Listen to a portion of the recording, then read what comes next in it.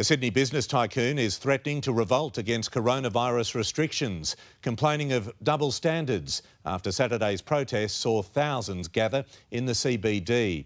But the Premier is trying to calm the waters, assuring us it won't be long until the rules are relaxed even further.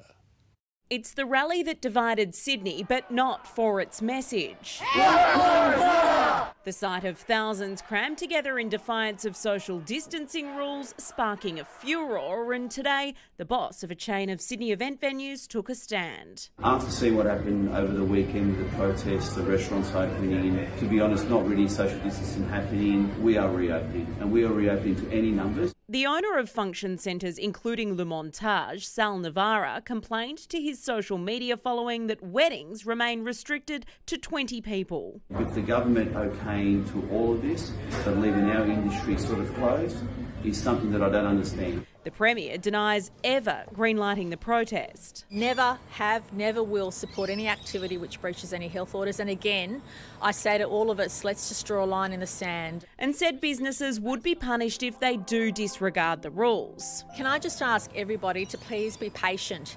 There isn't much more to wait. Police did try to stop Saturday's protest here in the Supreme Court, but it was allowed to go ahead in an 11th hour appeal. Since then, the police minister has declared he wants officers to block all protest permits while coronavirus restrictions remain. David Elliott reportedly receiving a wave of Facebook abuse for his stance, including an alleged death threat. Police seizing two guns that fired gel bullets when they arrested and charged a 25 year old over the comment. Liz Daniels, 9 News.